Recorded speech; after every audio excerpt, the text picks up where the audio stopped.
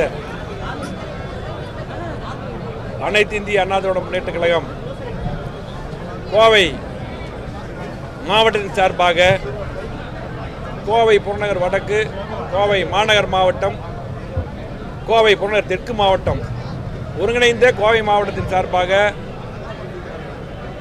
திராவிட முன்னேற்ற கழக அரசை கண்டித்து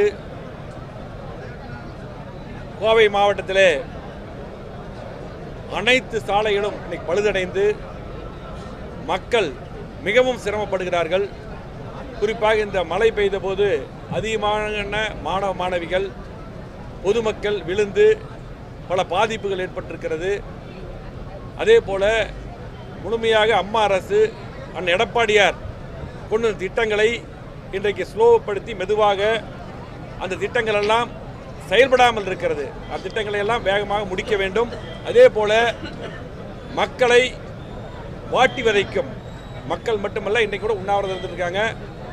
தொழில் முதலீட்டாளர்கள் தொழிலாளர்கள் அனைத்து தரப்பு மக்களையும் வாட்டி வதைக்கும். மின்கட்டண உயர்வு சொத்து வரி உயர்வு பால் விலை உயர்வு போன்ற அடிப்படை பிரச்சனைகளை இதையெல்லாம் கண்டித்து திமுக அரசை கண்டித்து வருகின்ற இரண்டாம் தேதி மாபெரும் உண்ணாவிரத போராட்டம் கோவையில் நடக்கிறது.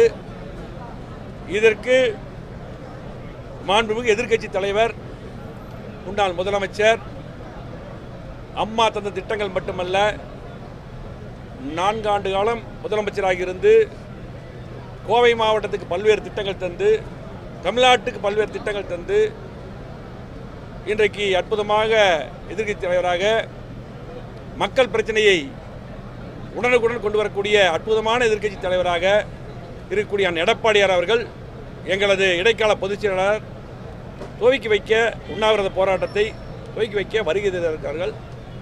ஆகவே இந்த உண்ணாவிரத போராட்டம் எப்படி இதை நடத்த வேண்டும் என்பதற்காகத்தான் இன்றைக்கு கோ- நம்முடைய இதயதேவி மாளிகையிலே நாங்கள் மூன்று கட்சி மாவட்டங்கள் ஒருங்கிணைந்த கோவை மாவட்டம் சார்பாக அனைத்து நிர்வாகிகளை வைத்து இந்த கூட்டத்தை ஏற்பாடு செய்து நடத்தி கொண்டிருக்கிறோம்.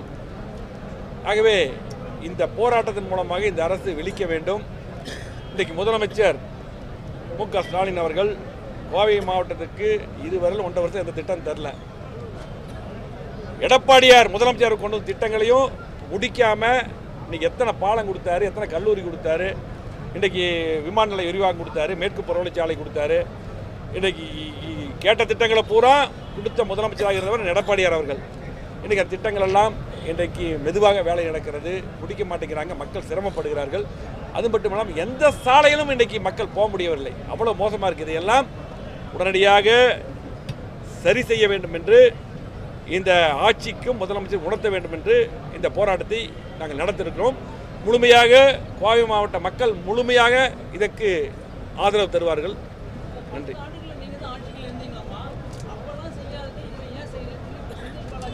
சார் இல்லை அதான். பத்து வருஷமாக நாங்கள் வந்து என்னென்ன திட்டங்கள் செஞ்சோம் அதுதான் சொல்கிறோம் ஐம்பது ஆண்டுகளில் வளர்ச்சி நாங்கள் கொடுத்துருக்குறோம். இந்த ஒன்றரை வருஷமாக திமுக இன்றைக்கு என்ன செஞ்சது? முதலமைச்சர் கோவை மாவட்டத்துக்கு என்ன என்ன செஞ்சார்? எது செய்யலை? எல்லாம் உங்களுக்கு தெரியும். இந்த கேள்வி கேட்குறாங்க சகோதரர் கேட்குறாரு. பத்தாண்டுகளாக அனைத்து சாலைகள் திரும்ப சொல்கிறேன் கோவை மாவட்டத்துக்கு முக்கிய சாலைகள் ரெண்டாயிரத்தி பத்தில் எப்படி இருந்தது?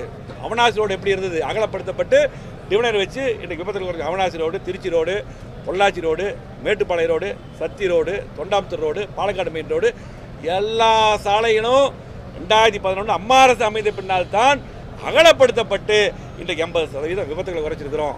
எல்லா பக்கம் மக்கள் இன்னைக்கு போக்குவரத்து இடைஞ்சலாமல் இருக்க எல்லா பாலங்களும் கட்டியிருக்கிறோம். நிறைய பாலங்கள் நாங்கள் கட்டின பாலங்கள் வேலை நடக்குது.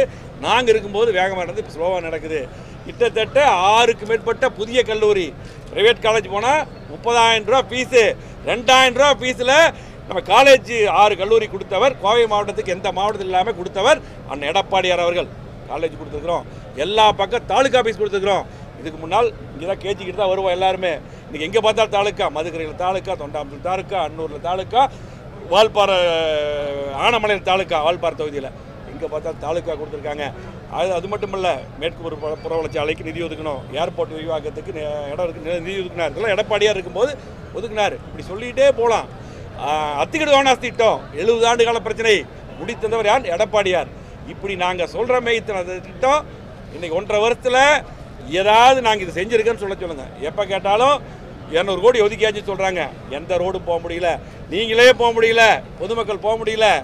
ஆகவே தயவு செஞ்சு இனி இதெல்லாம் விட்டுட்டு நாங்கள் கேட்குறது ஒன்றரை வருஷமாக ஒன்றும் செய்யலை. இனியாவது செய்யுங்க. என் கோவை மாவட்ட மக்களை புறக்கணிக்காதீங்க. இன்றைக்கி உள்ளாட்சியில் வந்து பார்த்தீங்கன்னா கோவை மாவட்டம் எல்லா எம்எல்ஏ நாங்கள் இருந்தோம். அதுக்கு பின்னாடி உள்ளாட்சியில் நீங்கள் எப்படி இது ஜெயிச்சிங்கன்னு தெரில ஆனால் இன்றைக்கி உங்கள் நிர்வாகி தான் இருக்கிறாங்க. மேயர் துணை மேயர் எல்லா கட்சி இன்றைக்கி பார்த்தீங்கன்னா பேரூராட்சி நகராட்சி தலைவர் இருக்காங்க. இன்றைக்கி பார்த்தீங்கன்னா அதுக்கப்புறம் வந்து எதுவுமே செய்யலை. எங்கேயும் போக முடியல. கொசு மருந்து அடிக்கல. இன்னைக்கு ஜிஹெச்சில் போனால் கரெக்டாக ட்ரீட்மெண்ட் இல்லை. எங்கேயும் மருந்து இல்லை. இன்னும் சொல்லிட்டே போகலாம் இன்றைக்கி சொத்து வரி உயர்வு மின்கட்டண உயர்வு மக்கள் அவ்வளோ அவதிப்படுறாங்க.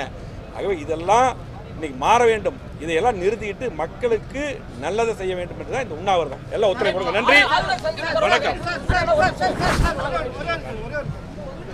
தமிழகம் கோவை மாவட்டம் முழுவதும் தமிழகம் மட்டும் இல்லாமல் கோயம்புத்தூர் முழுவதுமே கொலை கொலை சம்பவங்கள் தொடர்ந்து நடந்துட்டு இருக்குது. இப்போ கூட இன்னைக்கு அதிகாலையில கூட குறிச்சி பள்ளியில கூட ஒரு கொலை சம்பவம் நடந்திருக்குது. இது வந்து. திமுக அரசின் நிர்வாக கோளாறுன்னு நினைக்கிறீங்களா? காவல்துறையினரின் அலட்சிய போக்குன்னு நினைக்கிறீங்களா? உங்கள் கேள்வியிலேயே ரெண்டு பதில் இருக்குது. திமுக ஆட்சியுடைய நிர்வாக கோளாறான்னு கேட்குறீங்க காவல்துறை அலட்சியமான்னு கேட்குறீங்க அதுதான் நம்முடைய எதிர்கட்சி தலைவர் முன்னாள் முதல்வர் எடப்பாடியார் தமிழக கவர்னரை அது கூட தெளிவாக சொல்கிறோம் கவர்னருக்கு தமிழ்நாட்டு மக்களுக்காகத்தான் கவர்னர் சென்று போய் பார்த்தார். நீங்கள் கேட்ட கேள்விக்கு பதில் அதுலேயே.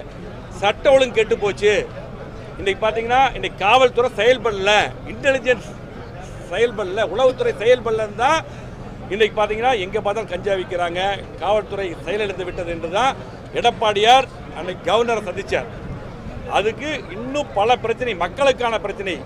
நிர்வாக சீர்கேட்டை பற்றி கொடுக்கறதுக்கு தேதி எடப்பாடியார் தான் கேட்டு போய் மக்களை சந்தித்தார் அதை கூட விமர்சனம் பண்ணுறாங்க இன்னைக்கு அன்னைக்கு வந்து பார்த்தீங்கன்னா கவர்னர் அவர் வந்து எந்த கட்சி சாராதவர் அவர் கேட்டது மக்களுடைய பிரச்சனை கவனமாக கேட்டார் நடவடிக்கை எடுக்குன்னு சொன்னார். ஆகவே மக்களுக்காக செயல்படக்கூடிய ஒரே தலைவர்னா எடப்பாடியார் மட்டும்தான்.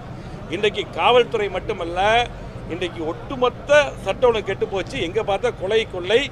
இதை முதலமைச்சர் கவனம் செலுத்த வேண்டும். இதுவரை கவனம் செலுத்த இனியாவது கவனம் செலுத்த வேண்டும்.